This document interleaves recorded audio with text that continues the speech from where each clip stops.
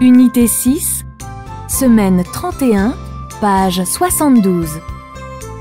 La fête de fin d'année. Bravo Lina Le spectacle était magnifique. J'ai appris mon texte pendant dix jours pour jouer le lynx dans la pièce de théâtre. C'est très bien. Et Amine, il a appris à jouer du saxophone? Non, papa, il faisait semblant de jouer. Jasmine avait une belle tenue de fée. Encore bravo à tous.